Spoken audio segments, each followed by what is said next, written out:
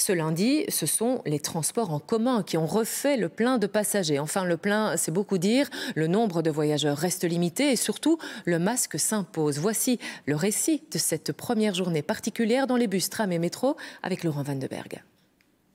17h, la fin d'une journée de travail. C'est en fait, les transports sont plus chargés que ce matin.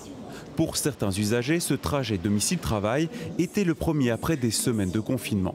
Un premier contact dans les bus, trams et métros. Changement marquant, le port du masque est obligatoire ainsi qu'une distance d'un mètre cinquante entre passagers. Ils ont très bien fait ça. Euh, voilà, maintenant, moi, je redoute un petit peu le moment où il y aura plus de monde dans les transports, où là, ce sera plus possible de garder les distanciations sociales, les règles en vigueur, etc.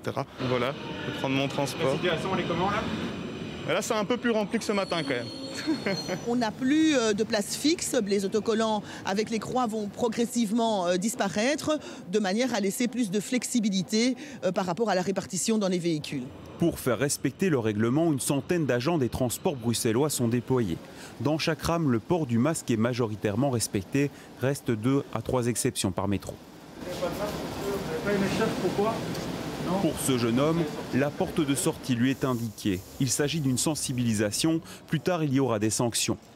Parmi les passagers, il y a Cécile. Elle reprend les transports aujourd'hui. Guérie du Covid, cette directrice de maison de repos a un œil aguerri et des conseils aux usagers porter correctement leur masque, à ne pas le toucher, à ne pas l'enlever pour discuter avec leur GSM, à ne pas utiliser des gants à mauvais escient parce qu'en utilisant des gants, ils se sentent protégés, mais du coup, ils contaminent tout leur environnement.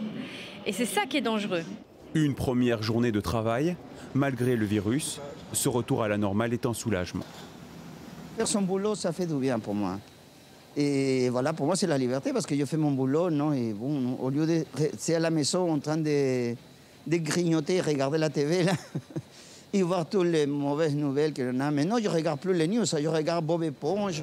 Une première journée test, le plan de déconfinement est lancé, l'offre de transport sera progressivement adaptée.